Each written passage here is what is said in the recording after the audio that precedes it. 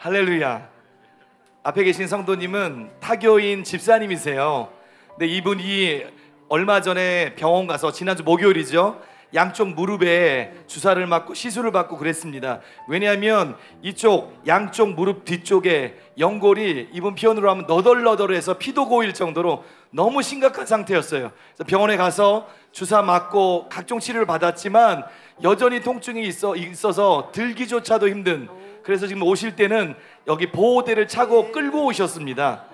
그런데 이분이 이렇게 오실 수 있는 그 마음이 어- 언제였냐면 전에 손자가 있었는데 예전에 사사모 때 치유받은 손자인데요. 5학년짜리였는데 교통사고로 인해서 아킬레스건이 파열됐습니다.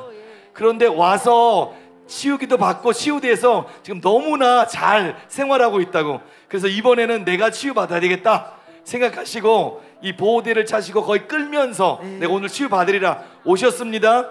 오셔서 믿음으로 주님 바라볼 때 주님이 지금 치유하셔서 지금 통증도 사라지시고 끌고 오셨는데 지금 이렇게 들 수조차 있는 움직일 수 있는 할렐루야. 그렇게 치유하셨습니다. 할렐루야. 양쪽 파열된 연골 너덜너덜할 정도로 심각했던 연골 그 부분을 지금 만지시고 치유하신 전능하신 하나님을 찬양합니다. 아멘. 주님을 아멘. 찬양합니다. 아멘. 예, 하나님께 영광 돌리신다고 아멘. 지금 눈물이 글썽글썽하세요. 주님을 주님을 찬양합니다. 찬양합니다.